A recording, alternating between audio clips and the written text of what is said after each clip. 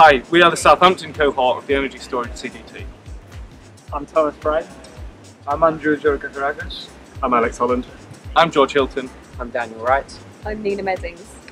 And we have been challenged to design, build and manufacture a vanadium redox flow battery for demonstration purposes. This is how it went. The vanadium redox battery is a flow battery. There are two external tanks of electrolyte solution, one positive and one negative. The battery cell is placed between the tanks. The positive electrolyte is pumped from a tank to the one side of the flow cell, while the negative electrolyte is pumped to the other side. An ion exchange membrane in the middle of the cell keeps the two solutions from mixing together, whilst allowing hydrogen ions to pass through. While charging, V4 gets oxi- oxidized to V5 and the color changes from blue to yellow in the positive tank. In the other tank, V3 gets reduced to V2 and the color changes from green to purple. The process is reversed while discharging. We began by thinking about the factors that were important in designing our flow battery, including vanadium concentration, the size and configuration of the battery, whether to have two or four tanks, a flow past or flow through system, what flow rate we should use, and what the current might be. The strength of colour of vanadium solutions depends on their concentrations, according to Beer-Lambert's law. Using values for vanadium extinction coefficients estimated from the literature, we could work out the vanadium concentrations needed to give a good visual impact. The next key decision was cell configuration and whether to have a two tank or four tank system. A four tank system requires complete conversion of vanadium species in one pass through the flow cell.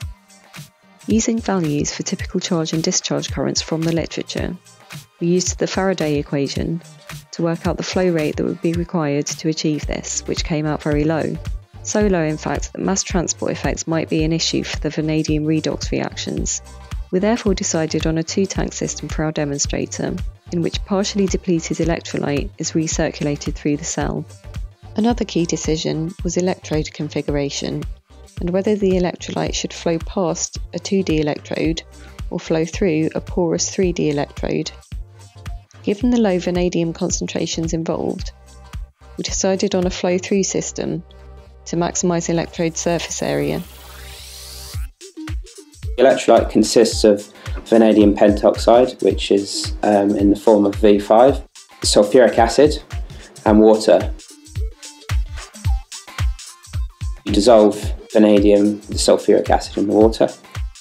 We then ran a H cell to see what colour change we got. So a H cell is basically two half cells divided with a glass frit.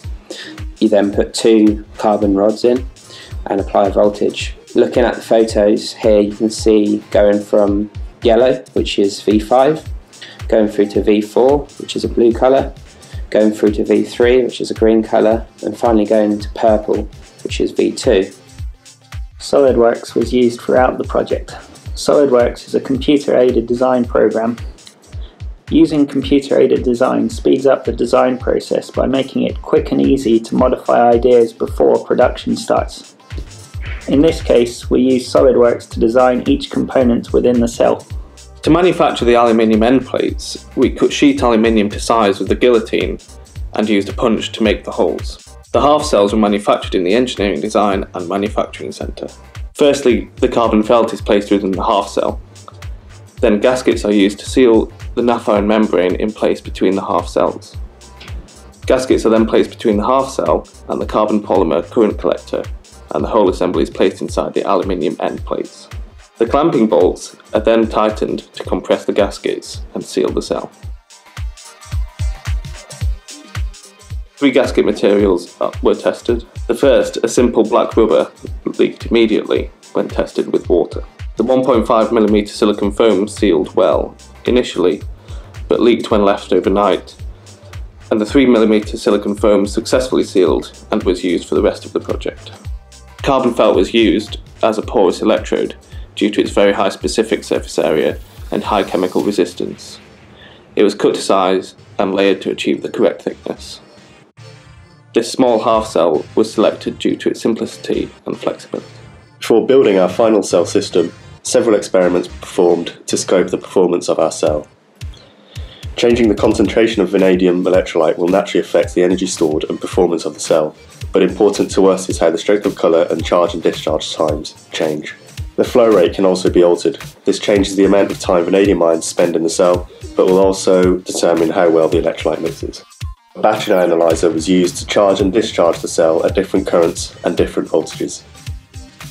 For example, we can use different voltages to charge the battery, observe the resulting current profiles, and determine an appropriate discharge current. A high discharge current is desirable to achieve a fast colour change. However, it can also reduce the output voltage as well as the capacity of the battery. This reflects increased concentration over potentials due to mass transport effects. Given the low vanadium concentration we are using, charging and discharging of our battery is likely to be mass transport limited.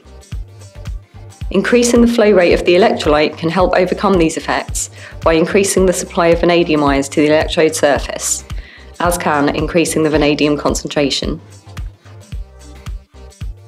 The base was produced using a laser printer. So you used a thin sheet and the laser printer cut out all the holes.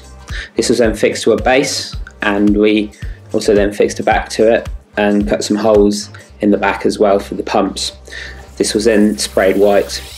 The case manufacturing was also done in the same workshop. Perspex sheets were cut out and then put together with fixings. This is a video of the battery charging.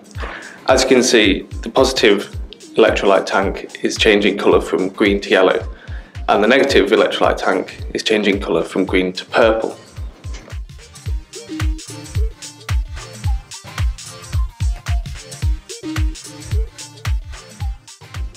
This is a video of the battery discharging. As you can see, it has lit up the LEDs. The colours of the electrolyte tanks are changing back to green.